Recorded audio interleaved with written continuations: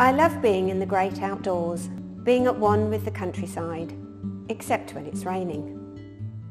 I like nothing better than walking in the woods with my 12-year-old Staffy Cross pooch, Billy Wiz, who was a rescue pup. Sometimes my son's dog Hurley comes with us.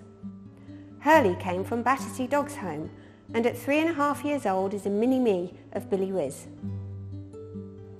Early in the year, I'm always on the lookout to spy the pale yellow of the first primroses and the delicate purple violets.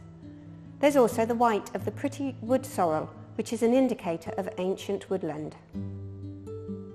From the middle of April to the beginning of May, depending on the weather, the first bluebells appear. They form the most amazing vivid blue carpet under the trees and the scent is to die for. As the bluebells die away, pink spires emerge of digitalis, foxgloves.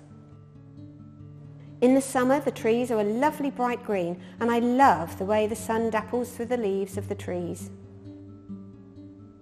As the season turns, it's time for the fungi, the many mushrooms and toadstools I wish I knew the names of more of them. Some are the most amazing colours and shapes, and I love the smell. Billy Whiz loves to dig at the base of some of the trees and rotted tree stumps. I'm sure he's digging for truffles. He loves paddling and splashing in big muddy puddles after the rain. He has found a favourite water bowl too in a rotted tree stump. The autumn colours are wonderful as the leaves die. Then, as the wood slumbers, it's blanketed by snow the dogs love running around in the snow. The wood is continually changing with the seasons.